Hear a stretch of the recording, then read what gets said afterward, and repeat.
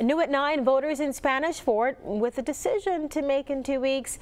Should they give the city more of their hard-earned money to help the city schools? Well, tonight at Town Hall to convince people to vote yes. I'm so lucky to live in a community that has great Spanish Fort. Dozens of people showing up to listen and talk to city leaders, ask questions as well. Uh, the city council voting earlier this year in favor of a proposed three mill property tax. Voters will have the final say September 17th.